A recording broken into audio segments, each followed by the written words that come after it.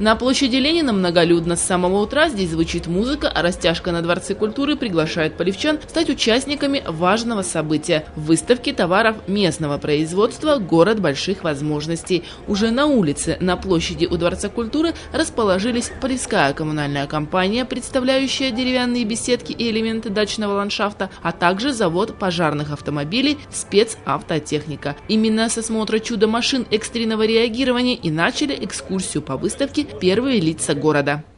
Пожаротушение намного лучше и эффективнее, чем обычных автоцистерн. Вот эта компрессионная пена ну, технологии лучше посмотреть на нашем сайте, там все расписано, более подробно и интересно.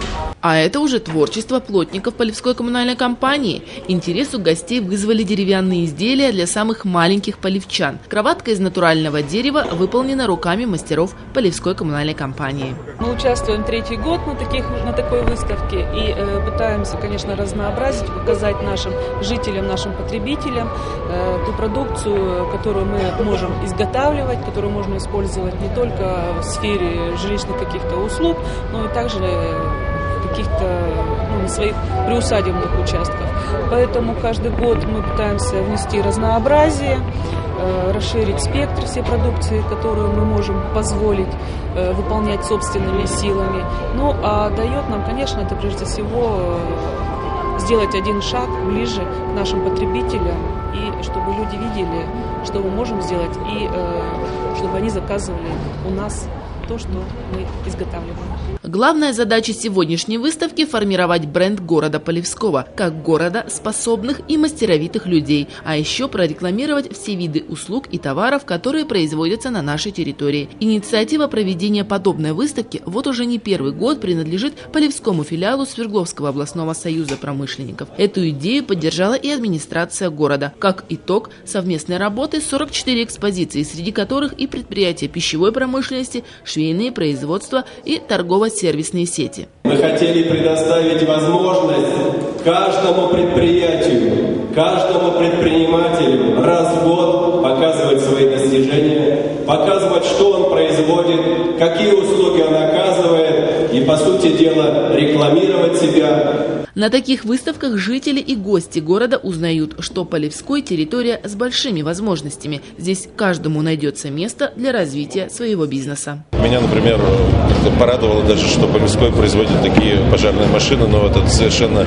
новый автомобиль, который позволяет там, до 10 тысяч кубических метров пены э, сам, сам производит, да, и тем самым тушить пожары, это и сохранять лес, и сохранять э, строение, сохранять, в конце концов, жизни. Очень приятно, что действительно все организовано организовано, что э, увеличивается количество участников. И, наверное, э, не наверное, абсолютно точно, все-таки эта выставка дает развитие малому и среднему бизнесу и дает возможность полевчанам увидеть то, что э, у нас производится не только, скажем, на Северском трубном заводе или Полевском крелитом, но и на, опять же, малых или средних предприятиях. Среди участников выставки есть и новички. Среди них Управление рабочего снабжения Северского трубного завода. Они занимают один из самых больших павильонов. Предприятие представляет весь спектр своих услуг. Это и организация выездных банкетов, кейтеринг, так называемый выездной ресторан. Очень аппетитно и вкусно выглядит и кондитерская продукция этого пищевого предприятия. Сегодня она доступна как для работников Северского трубного завода, так и для всех остальных полевчан, говорит Дениса Шихмин, начальник отдела общественного питания УрсТЗ.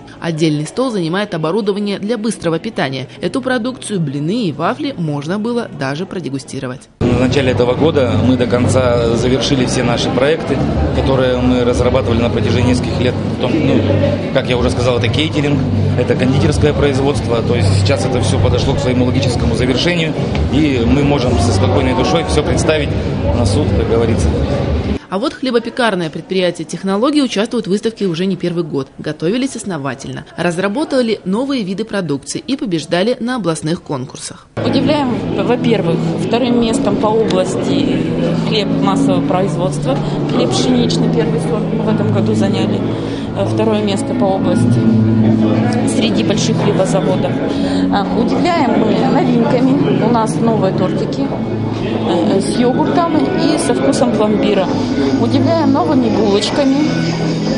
Булочки у нас маленькие, к супу называются, с чесноком, э, с луком, ржано-пшеничные, ну и постная продукция, так как мы работаем с Новотихинским монастырем.